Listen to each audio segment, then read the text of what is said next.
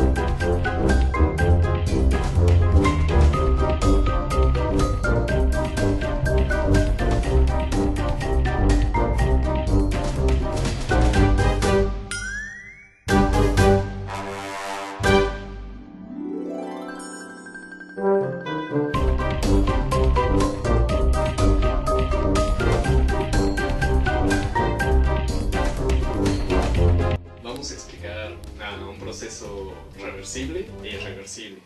En este caso vamos a usar el ejemplo de un vaso de vidrio al caer.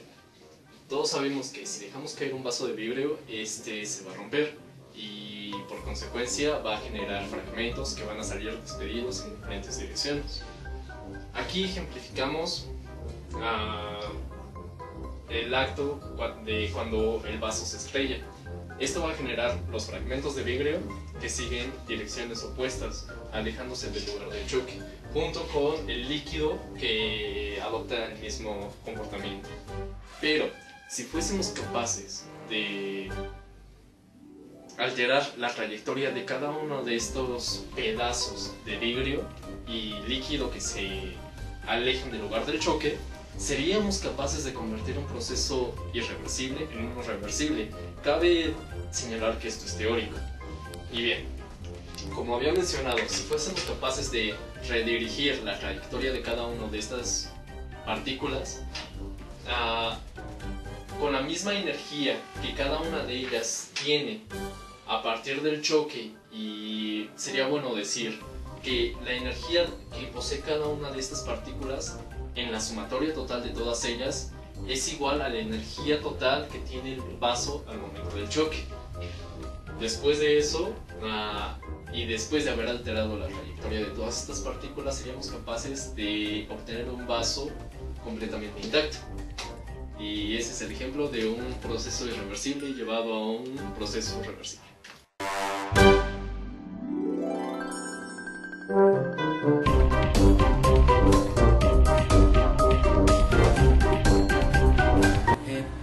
Definir como proceso irreversible aquel proceso que se lleva a cabo en una dirección y que no puede revertirse de una manera espontánea y con sus condiciones iniciales.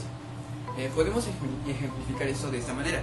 Supongamos que Javi está en la parte de arriba de una escalera y desea bajar.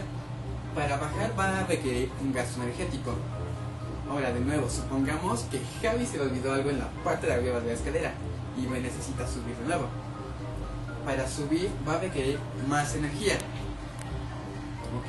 Si bien llegó a, de nuevo a la parte de arriba de la escalera, en cuestiones de energía no va a tener la misma energía que tiene en este momento que cuando llegó. Estaba en el principio en la parte de arriba de la escalera.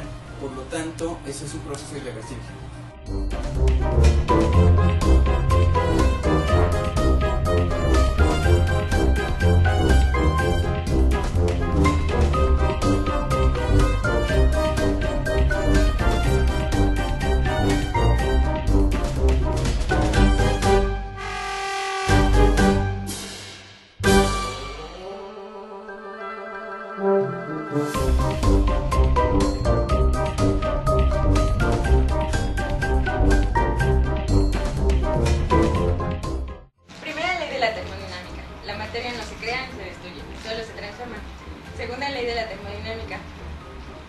Tiende hacia el desorden.